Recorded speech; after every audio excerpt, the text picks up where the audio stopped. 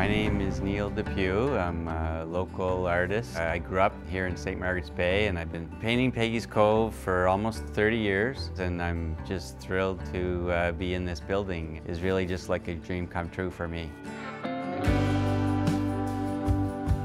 To take over deGarthe Studio by a local artist I think is really important to carry on the tradition of what he became uh, well known for. When people come into the building, right away they love the building, they love the feel, they love the atmosphere. The job that has been done by um, Build Nova Scotia, inside and out, they've kept the rustic charm and has really been tasteful and it fits in with the surroundings. Just the thought of securing um, a future here and uh, being able to paint here it's kind of what the building has always been and what everybody in the community kind of knows it as and remembers it as. And hopefully I can be here for a long time and, uh, and get known as the Peggy's Cove artist from now uh, into the future.